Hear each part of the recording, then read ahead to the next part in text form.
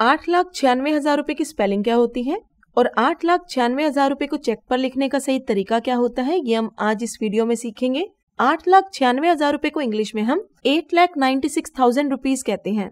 और अगर हम अकाउंट पे चेक देना चाहते हैं तो चेक के सबसे ऊपर कॉर्नर में हम अकाउंट पे ओनली लिखेंगे। फिर जहाँ पर पे एबीसी नेम लिखा हुआ है, वहाँ पर आप उस पर्सन या कंपनी का नेम लिखेंगे, जिसे आप चेक देना चाहते हैं। और नीचे आप लिखेंगे eight lakh ninety six thousand rupees only और इसकी स्पेलिंग होती है E I G H T eight L A K H lakh N I N E T Y ninety S I X six T H O U S A N D thousand R U P double E S rupees O N L Y only और उसके नीचे आठ लाख छियानवे हज़ार रुपए मात्र लिखने की ज़रूरत नहीं है, क्योंकि आप हिंदी या इंग्लिश किसी एक भाषा में ही चेक भरें और राइट हैंड साइड में जो बॉक्स दिया हुआ है उसमें आठ लाख छियानवे हज़ार रुपए को अंकों में लिखना है।